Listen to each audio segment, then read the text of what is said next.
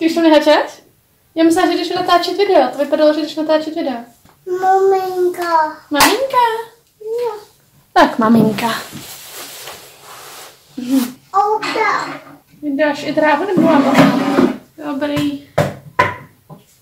Ahoj, já vás vítám u dnešního videa, které je tak trochu pokračováním toho minulého, ve kterém jsem vám dávala tipy na dárky pro děti do 3 let. Dneska to budou tipy pro předškolní děti, takže tak těch 3 až 6 let. Ale pokud jste to v minulé video neviděli, tak uh, tady vám, myslím, vyjede, ještě vám ho dám do popisku. Uh, na něj, myslím si, že některé věci tam využijete i pro tyto předškolní děti.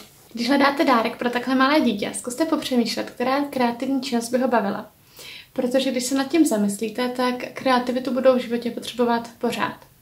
Ať už budou v zaměstnání nebo v podnikat, ve škole, když si budou zařizovat bydlení, nebo zahradu, nebo třeba při vaření, prostě pořád. Děti umí být úplně úžasně uh, kreativní. Dělají věci neobvyklé, zkouší různé nové způsoby, uh, mají strašně moc nápadů, hrozně velkou představivost.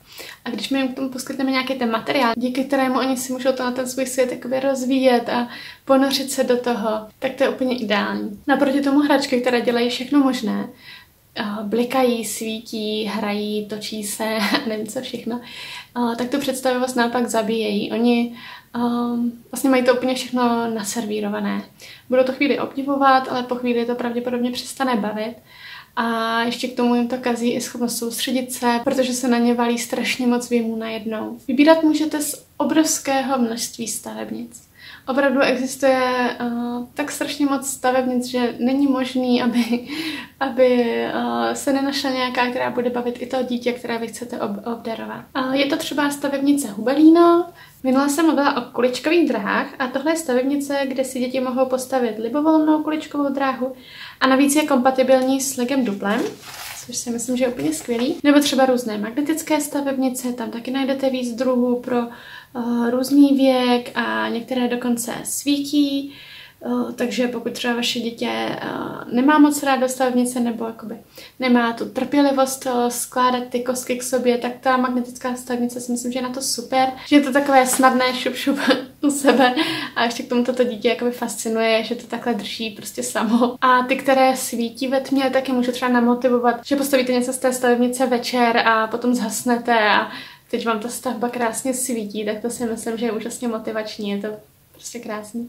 Dál to může být třeba i klasický Merkur, spíš pro ty starší předškoláky, nebo Seva, nebo třeba stavebnice Koby, to je pro milovníky vojáků. A pak samozřejmě Lego, které má úplně nepřeberné množství těch nejrůznějších sad, takže vyberete pro děti jakéhokoliv věku a s jakýmikoliv zájmy stavebnici přímo prostě na míru, která ho určitě bude bavit.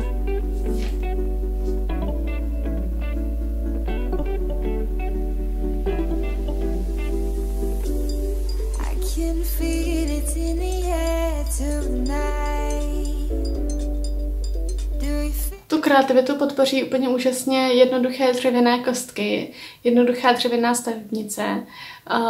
Kapla je úplně výborná, úžasná, nádherná stavebnice, kde máte prostě úplně obyčejný dřívka, které jsou všechny stejně velký, a, ale dají se z toho postavit tak strašně úžasné stavby. Je u toho samozřejmě Eh, spoustu návodů, takže můžete zkusit podle návodu z toho spoustu postavit a to dítě potom už jakoby rozjede tu představivost a vymyslí spoustu věcí i samo. Samozřejmě nejde jenom o tu kreativitu. S těmi stavebnicemi si děti procvičí i jemnou motoriku, prostorové vnímání, trpělivost, technické myšlení, logické myšlení. A třeba můj manžel tvrdí, že jeho jako malýho stavebnice nebavily.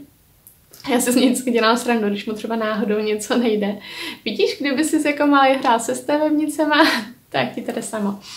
Ale myslím si, že dneska už je na trhu fakt takový množství stavebnic a takových druhů a na různá témata, že opravdu vyberete pro každé dítě, tak aby ho to zaujalo a bavilo. Velmi kreativně si děti vyhrají i s různými zatloukačkami, které se taky už dělají úplně na různá témata, mm, víc pro kluky, víc pro holky, nebo jenom úplně jednoduché tvary, ze kterých můžou uh, sestavit um, jakýkoliv obrázek, který je u toho napadne. Dále pro děti, které uh, rády tvoří, malují, kreslí a podobně, můžete uh, pořídit nějaký krásný kufřík a do toho jim dát nejrůznější zajímavé věci. Ať už třeba prázdné tričko a k tomu barvy na textil, nebo třeba barevné papíry, nůžky, lepidlo a různé knoflíky, provázky, korálky, bambulky, třpitky, stužky, nebo třeba taková ta razítka různých tvarů, se dělají třeba nevím, srdíčka, bločky a podobně. K tomu jim tam dáte, já nevím, třeba i kousky látky, Jo, prostě všelijaké věci, ze kterých můžou libovolně pak tvořit. Nebo i třeba různý špile, párátka, bavlnku, nebo takový ty nalepovací oči, aby mohli udělat nějaký zvířátko, panenku nebo tak.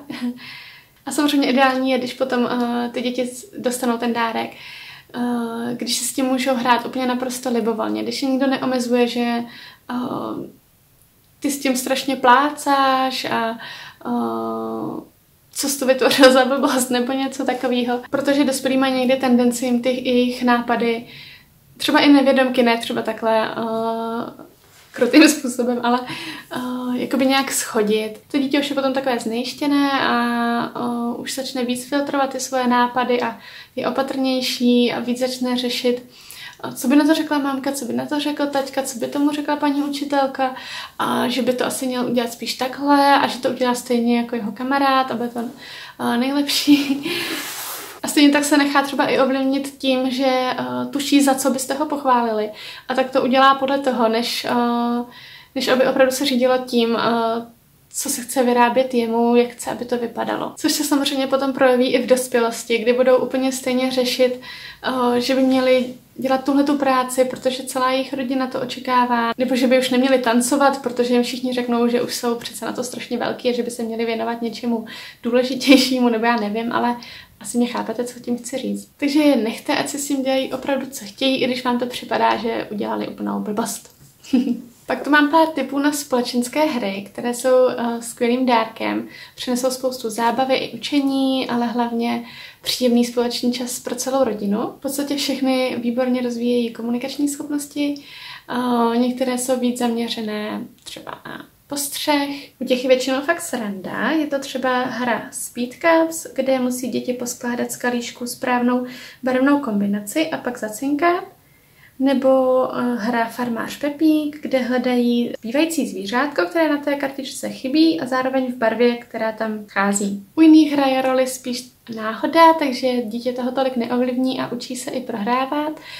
Je to třeba hra nastupovat, vystupovat, kde se dítě eh, prakticky seznamuje i se sčítáním a odčítáním. U jiných her se dítě naučí něco nového, například ve hře umí prasa létat, pozná zajímavé vlastnosti nejrůznějších zvířátek. Zajímavé je třeba Pexeso pro uši. U toho podle mě musí být obrovská legrace, kdy samozřejmě děti hledají nebo s rodiči vždycky dva kalíšky se stejným zvukem, které vydávají stejný zvuk. Procvičovat můžete ale i třeba sluch ve hře Bim Bam, která obsahuje CD a dítě poznává například nejrůznější hudební nástroje nebo dopravní prostředky a jakékoliv zvuky z života. Procvičovat ale můžete i čich s nosíkovou hrou, kde je 16 nádobek s vůněmi a k tomu kartičky s obrázky.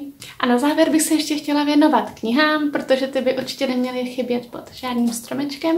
Já mám tady pro vás na ukázku knížky, které tady máme pro Samuelka a je to uh, Zvířátka u pana doktora a Zvířátka ve lesní školce což jsou podle mě ideální uh, knížečky pro malé děti, tak kolem těch tří let. Ta u doktora asi dřív a ta v lesní školce podle toho, kdy vaše dítě půjde do školky. Samček sice ještě nepůjde do školky, ale přijde mi fajn, že už jako bude vědět, že něco takového existuje. Protože dětem velmi pomáhají podobné knížky, kde ty postavičky zažívají věci, které to dítě prožívá v běžném životě, nebo když si hrajou námětové hry na ty témata, že si ty témata tak jakoby zpracují a prožijí a už to pro ně není tak neznámé a děsivé a už vědí víc, co mají třeba očekávat, že se bude dít, když půjdou k tomu lékaři a podobně.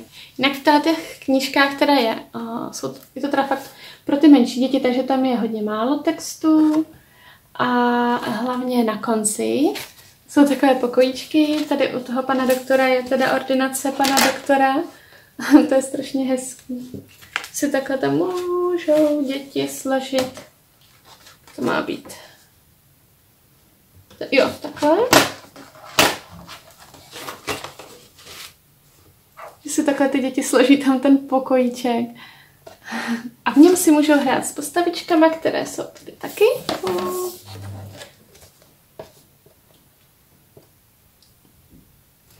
A v této knížce máme zase školku krásnou. Takže při výběru knížky je paráda se zaměřit na to, co by mohlo řešit konkrétně to vaše dítě, eh, jestli ho třeba čeká příchod sourozence, nebo právě půjde do té školky a podle toho vybírat tu knížku. Podobně je prima zamyslet se třeba i při výběru nějaké encyklopedie, jaké téma. Lásko, už jdou! Asi.